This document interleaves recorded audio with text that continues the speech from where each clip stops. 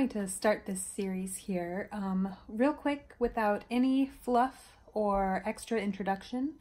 Um, I have no makeup on. It is the it is around four o'clock Eastern Standard Time. It is summer. All of my children are home, so it's going to be noisy.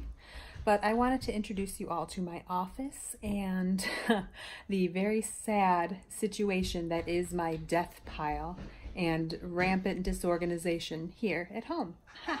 so beware, it's awful. So behind me, you can see part of my photography area. At the moment, my beautiful mannequin is wearing a Cashmere Talbot's twin set that I have yet to photograph, even though she's been wearing it for like a month. Huh. I've got two white box lights there is, sorry, it's gonna be wiggly. There is my male mannequin with some boxes leaning up against. If we look over this way, you'll see one of my, see, we had a kid crying. We see one of my bookshelves with a retail arbitrage Mickey Mouse chess set on the top and my sewing kit. I've got some plates and some Looney Tunes DVDs and my kids' fire truck mechanics set. Um, some Wii U games, my shoe cleaning set, and some other stuff on that other shelf. And then a basket full of little girl's shoes and some other stuff that I need to sell on eBay. Along with, I'm not sure what in that magazine holder. Who knows? The next shelf down, which you can't see because I've got a pile. Let's see here.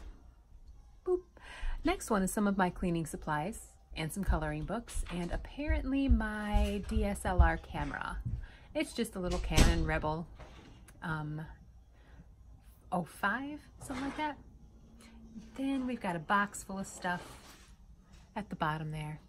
But if we back out of this corner, you're going to see my awful, awful death pile. This is what this video series is going to be about. It is awful. You can't even see all of what I have that I've thrifted but not listed yet. I have some of it measured, some of it ready to go, some of it sorted into what needs to be um, cleaned, mended, anything like that. These boots here, where are those boots? Oh, these boots. Oh. Those are amazing. And I've seen comps in the 300s. I've had them for a few months. I don't know why I haven't listed them. I think I have a problem. if I show you over this way, you'll see my, that's my cedar chest and some shoes. It is piled with clothing I have yet to list. Check out that Free People denim white jacket. Oh boy, that's awesome. I did get the stains out of that. That was amazing. Over here, boom, we have my printing center and part of my desk. The little table there holds my regular printer and my Dymo. Um, also some artwork from my kid, um, a llama from Fortnite, some more stuff, and more of my flippin' death pile. Oh, my polka dot bathing suit. It's so cute. I need to clean it and list it. Stuff still in bags. Some other stuff I do have listed but not put away yet. Trash. Stuff I haven't cleaned up in forever. Up here on the wall, I have some of my eBay things I do have listed, like that little pair of adorable made in Japan couple of figurines and my vintage 70s hanging ashtray owl. Some Moriage pottery and blah, blah, blah. All sorts of fun stuff. Hmm. Here is my desk where you can see my awful, awful organization skills. This is actually kind of clean for what it is. Some leftover pop, some more figures that I need to list. I mean, look at this cute little owl. He's adorable. Some more Moriage pottery with um, foo dogs and gorgeous little things. More trash. A couple fossil wallets back there. This thing is amazing. Look at that. The um, file holder. This guy. Excuse me. I keep my plastic poly bags, self-stick, in there. And I keep my other self-stick shipping mailers in there. And they're the perfect size. They fit those perfectly. And those are, um, what are those, 10 by 13? Something like that? I don't remember. Here's a return. it was a Free People dress that actually had a pinhole that I didn't notice. Some coupons. A little more of my desk. Here is the underside. You can see the bags of jeans and men's shirts that I do have listed, bagged and inventoried and all that, but I have not taken care of. And a paper bag full of recycling.